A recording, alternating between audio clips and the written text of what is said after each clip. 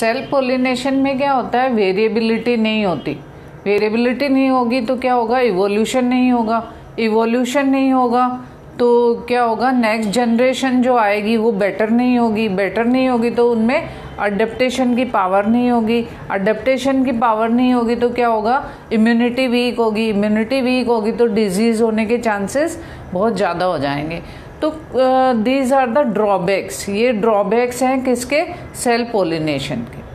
तो cross pollination better है self pollination से. तो उसमें क्या होता है? ये सारे जो सेल पोलिनेशन की कमियाँ हैं, वो उसमें ख़त्म हो जाती हैं. ओके तो स्टार्ट करते हैं क्रॉस पोलिनेशन से. ओके गुड मॉर्निंग स्टूडेंट्स तो जिन्होंने सब्सक्राइब नहीं किया सब्सक्राइब कर लीजिए लाइक कीजिए और अपने फ्रेंड से शेयर करिए. और लेक्चर के लास्ट में कोई भी क्वेश्चन अराइज होता है तो आप कमेंट सेक्शन में जाके कमेंट कर सकते हैं ओके तो क्रॉस पोलिनेशन की डेफिनेशन क्या है? क्रॉस पोलिनेशन की डेफिनेशन है transfer of pollen grain from anther to genetically different flower flower क्या होना चाहिए? जेनेटिकली डिफरेंट तो इसमें क्या होता है? फ्लावर भी डिफरेंट है और प्लांट भी डिफरेंट है. दोनों इसमें डिफरेंट है। ठीक है? तो क्रॉस पोलिनेशन क्रॉस पोलिनेशन को और क्या बोलते हैं? जीनोगेमी ओके और वैसे तो देखा जाए तो जिटोनोगेमी भी क्या है? क्रॉस पोलिनेशन में आता है। बट उसमें जेनेटिकली सेम होते हैं। ओके तो जीनोगेमी तो ये मैं डायग्राम में दिखाती हूँ।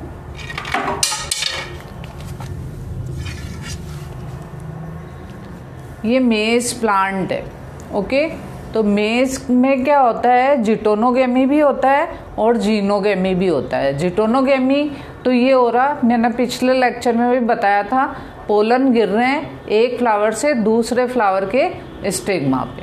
तो ये तो क्या हो गया? प्लांट सेम है तो ये तो क्या हो गया? जिटोनोगेमी और जीनोगेमी हो रही ये। इसमें क्या है? पोलन गिर रहे हैं और ये जाएँगे दूसरे प्लांट पे थ्रू द विंड तो ये क्या शो कर रहा है? जीनोगेमी तो इसका एग्ज़ाम्पल है मेज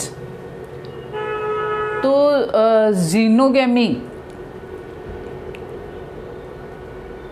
अब जीनोगेमी में क्या होता है? पोलन ग्रेन्स को ले जाने के लिए किसी वेक्टर की ज़रूरत पड़ती है यानी एजेंसी की ज़रूरत पड़ती। है तो एजेंसी दो टाइप की होती। है कौन कौन सी एजेंसी होती? है abiotic agency and biotic agency.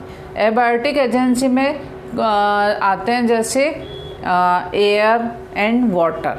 या तो पोलन ग्रेन किसके थ्रू जाएँगे? हवा के थ्रू जाएँगे या पानी के थ्रू जाएँगे। ओके? और बायोटिक में एनिमल्स के थ्रू पास होते हैं एंथर टू स्टिग्मा। ओके? तो एबायोटिक एजेंसी, इसमें विंड के थ्रू अगर जाता है, इनको भी डिफरेंट डिफरेंट नाम दिए।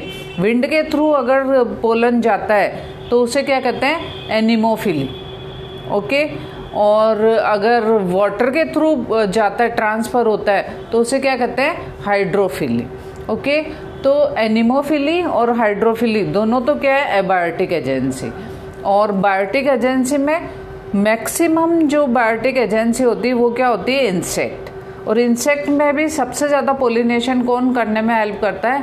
बी मधुमक्खी।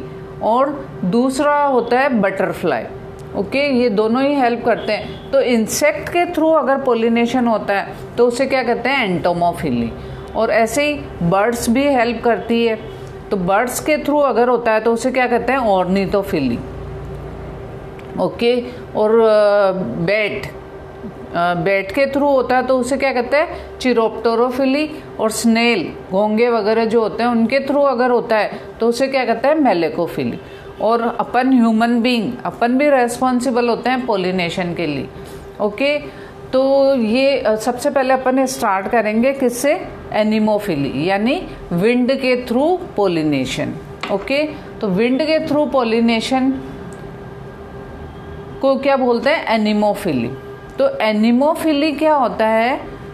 Transfer of pollen grain from anther to stigma of genetically different flower with the help of air, wind. Wind के थ्रू पास होता है तो उसे क्या कहते हैं? एनिमोफिली। अब इसमें पोलन ग्रेन कैसे होने चाहिए और फ्लावर की क्या क्या करेक्टरिस्टिक होने चाहिए? तो विंड के थ्रू पोलिनेशन होने के लिए पोलन ग्रेन हमेशा क्या होने चाहिए? पोलन ग्रेन एक तो लाइट वेट के होने चाहिए, यानी हल्के होने चाहिए ओके और स्टिकी नहीं होने चाहिए, चिपचिपे नहीं होने चाहिए ओके और दू, तीसरा ड्राई होने चाहिए, जिससे आसानी से हवा के थ्रू ट्रांसफ़र हो सके। और फ्लावर की क्या क्या करेक्टरिस्टिक होने चाहिए? इसमें फ्लावर क्या है? एक तो कलरफुल नहीं होने चाहिए। कलरफुल होंगे तो इंसेक्ट अट्रैक्ट हो जाएँगे और क्रॉस वो क्या कहलाएगा? एंटेमोफिली तो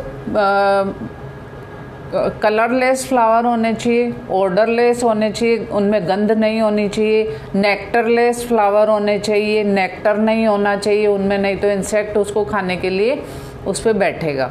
ओके और क्या होने चाहिए? स्मॉल फ्लावर होने चाहिए और क्लस्टर में होने चाहिए इन्फ्लोरेसेंस में। और क्या क्या करेक्टरिस्टिक होने चाहिए इसमें? जो स्टिग्मा जो होता है वो क्या होना चाहिए? फेदरी होना चाहिए एक्सपोज होना चाहिए, जिससे पोलन उस पर विंड के थ्रू आके गिरे। और ओवरी क्या होनी चाहिए? इसमें सिंगल ओव्यूल होना चाहिए। और इसमें, और इसके एग्ज़ाम्पल है जैसे मेज़ मेज़ में क्या होता है, जो स्टाइल उसके जो मेज़ के जो हेयर होते हैं, बाल होते हैं, वो क्या होते हैं? स्टाइल और स्टिग्मा वो क्या है? एयर में इधर उधर हिलते रहते हैं। तो जैसे ही पोलन आएगा, वो उसके ऊपर बैठ जाता है। तो मेज में इस तरीके से होता है और ऐसे ही अर्टिका प्लांट होता है। अर्टिका प्लांट में क्या होता है? गन पाउडर मेथड होता है। उसमें क्या होता है? अर्टिका प्लांट में जो एंथर होता है, वो एकदम से बस्ट करता है और सारे पोलन बिखर जाते हैं। तो पोलिनेशन में हेल्प करता है। और ऐसे ही होता है, जैसे ग्रासेस ग्रासेस साइनोडोन उसमें क्या होता है, जो स्टिग्मा होता है स्टिग्मा तो क्या होता है फैदरी होता है, और जो एंथर होता है, वो क्या होता है वर्सेटाइल होता है, ऐसे झूलता रहता है। तो उससे क्या होता है पोलन स्टिग्मा के ऊपर आसानी से गिर जाते हैं। ओके तो ये कुछ एग्ज़ाम्पल है जिनमें डिफरेंट डिफरेंट टाइप से पोलिनेशन होता है। तो अपन ने एनिमोफिली पढ़ा।